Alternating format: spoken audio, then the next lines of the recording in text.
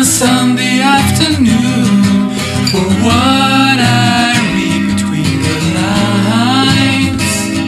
the Lies.